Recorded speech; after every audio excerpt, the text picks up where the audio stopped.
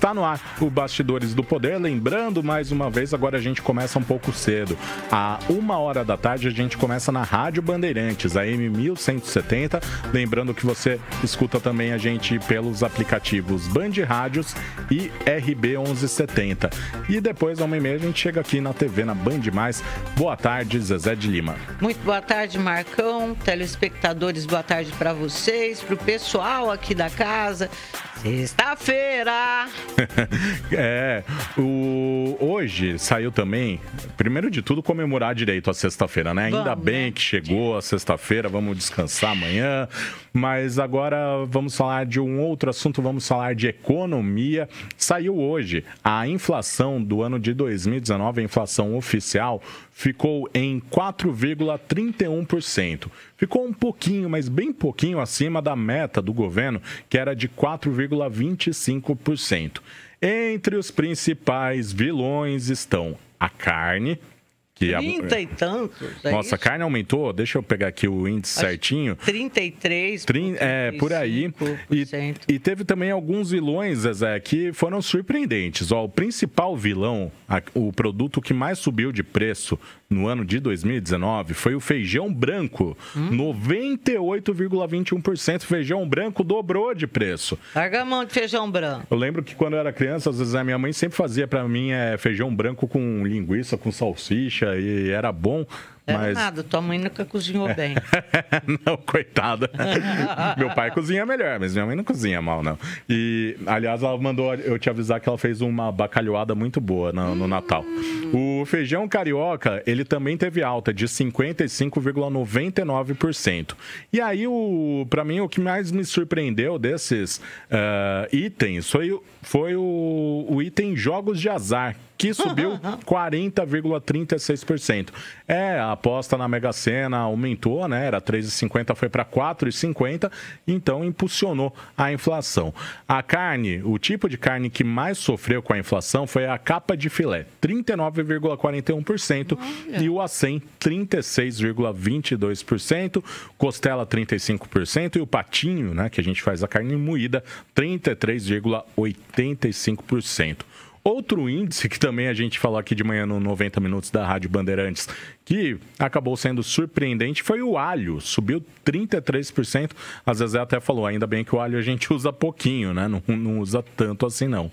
Então, é, Zezé, é impressionante, né? Assim, a, principalmente os itens, né? Como feijão, feijão branco, feijão carioca, que aí deve ter relação também, provavelmente, com a cultura, né? Com a com a planta, as plantações, né, que deve ter algum problema climático, alguma coisa aconteceu aí Exato. em relação ao feijão e a carne, né, que foi um problema que a gente já discutiu bastante aqui no Bastidores. Exatamente, a carne que começou é, a ser comprada pela China e onde a China dá, gente, para onde ela pende, ela é igual gafanhoto, assim, aquele negócio que pensa quantos bilhões lá de pessoas é muito é, chinês. É muita gente. É. E Zezé, tem uma outra questão também, né, ainda sobre essa com essa inflação um pouco mais alta do que a meta do governo. É importante a gente lembrar da, da questão da desaceleração da economia, né? Quando não, não dá para falar, né, que esse índice foi ruim. Não, porque foi, foi bom. Foi dentro da meta. Foi bom. Se fosse menor, a gente pensa, né, ah, a inflação menor é bom porque meu bolso vai ficar mais tranquilo.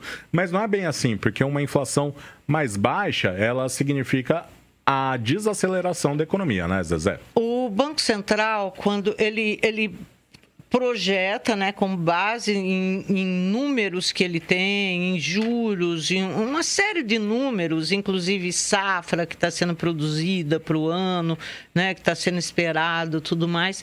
Aí o Banco Central ele projeta esse, essa inflação média, né?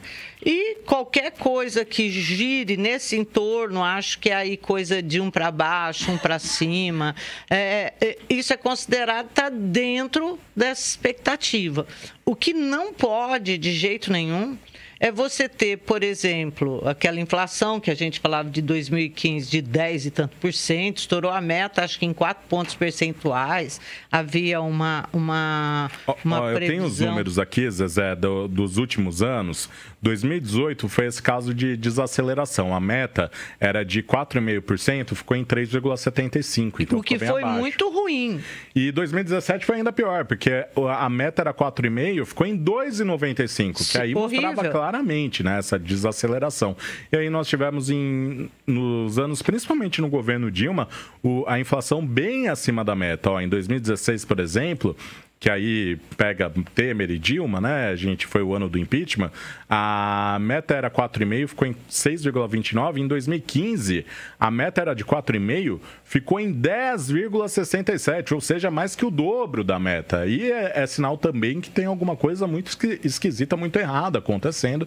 E foi o que a gente viu, né? A crise econômica de 2014 e 2015. Exato. E aí, o que, que você que, que você espera? Então, é que fica fique aí por volta desse, desse centro da meta estipulado todo ano, no início do ano, pelo Banco Central. E por que o Banco Central? Gente, o Banco Central, a gente vai ouvir falar muito, mas muito de Banco Central nesses próximos meses aí, porque está sendo é, trabalhado esse projeto de independência do Banco Central.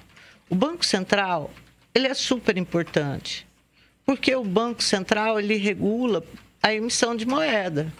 E, em última instância, é o Banco Central, com a política dele, que faz com que um real tenha o mesmo valor no Oiapoque e, e o mesmo valor no Chuí.